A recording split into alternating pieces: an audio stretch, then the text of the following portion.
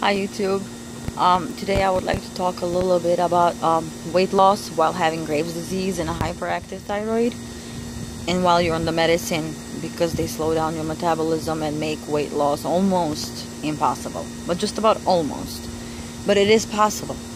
Um, the way that I did it was through exercise. First and foremost exercise was the key in me losing fat and losing the weight while still taking medicine and still having um, this autoimmune stuff. And uh, autoimmune diseases, they all start in the gut. So it's very important to heal the gut first before we expect to get a little bit better. So I became, I started reading books on the leaky gut syndrome because probably that's the probable cause why all this occurs. And uh, the first thing that I did I eliminated all breads from my diet. It doesn't matter if it's wheat, none of it is any good. Um, the only bread that actually works for me because of my disease is Ezekiel bread, which is from sprouted seeds. And that is very much more gentler on our system than all these flours that are being processed and uh, sold to us. So no white flour, no wheat flour, none of that stuff. Um, I also eliminated rice from my diet too, and uh, I cut down on the dairy and I cut down on the processed meats, like any lunch meat, you know, that is being sold as well. It's really uh, not good for you because before the graves, my diet consisted of sandwiches mostly and cooked stews, which was still heavy on processed stuff, and that has to that has to go. Um, so the main the main thing that needs to be done is the carbs to be eliminated, and uh, don't be scared because you will still feel full when you eat clean food. And if you decide to go with like higher fats and lower carb, kind of similar to keto, the fats do keep you feel saturated for a very long time. So you're not gonna feel hungry um, as fast as you would think that you were you're gonna be getting hungry.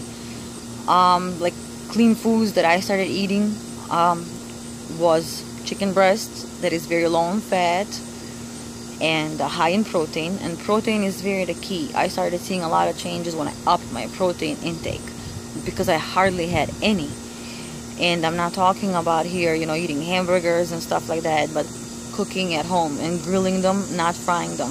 No frying stuff so that would be chicken breast. I can't do turkey. I'm not used to turkey. But turkey breast is, is also a good choice. Um, fish is an excellent choice. I like tuna. You know my husband likes salmon tilapia. That's a very good choice also because it has omega-3s which help a lot. Um, the way that the exercise helped was because I started getting more cardiovascular health that I didn't have previously. I was also on pills for my heart because my heart was kind of like having a little, it worked weird. It was skipping and doing all these weird stuff, but I actually stopped taking the medicine on my own. And when I told the doctor that I my heart is not bothering me anymore like that, they were very surprised. So it just shows that nutrition and exercise is really the key when you have um, Graves' disease and, and overactive thyroid. And I really think that just about anything, exercise and diet is the key to health, period. Um, other things that, that are very good to eat are, you know, peanut butter, but not Jiffy or any of those because that is like packed with stuff that you really don't need. Try to look for peanut butters that are that can be as natural as possible, that are only peanuts and salt, maybe a little bit of sugar.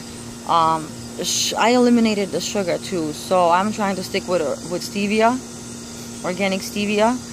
Um, I don't like. I'm not crazy for Splendas, but maybe some people like it. But you know, I know that it's bad for you, but uh, I think that everything that is done and taken in excessive quantities can be very bad for you. So moder moderation is really the key. Um, so it would really help if you just sit down and calculate exactly what you're eating like every day. So you can take a look at it and see. You're gonna you, you're gonna be really really surprised when you see the numbers. And uh, most likely carbs and fats are very high and protein is very very low.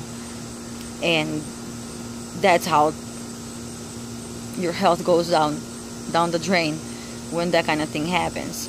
Personally i try to take one gram of protein per body pound at least and because i'm training with weights i take more i take 1.5 actually. So anywhere between 1 and 1.5 one gram is the norm for you just being alive exercise not even taken into account.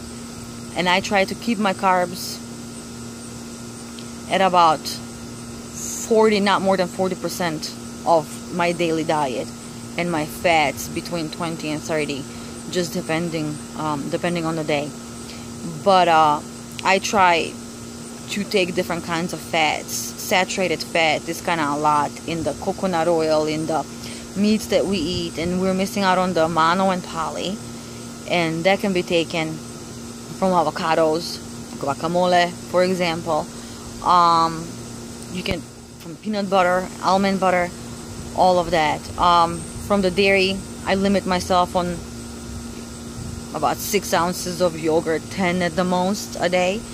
And uh, the, the cheeses are really like almost almost eliminated. Because I need my cheese too. And when it comes to cheese I just try to get fat-free cheese. I don't mind a little bit extra carbs. That's that's okay because I just mind my numbers. So um, I hope this helped a little bit somebody. If any any one of you has any questions don't hesitate to, to message me to ask me. I, I I'm trying to help as much as possible to as many people as possible. So don't hesitate to, to send me a message and ask a question about diet. Um, and if you're if you find my videos helpful please please like and share. Help me out. Spread the word and uh, click click on the subscribe button. Thank you so much. Bye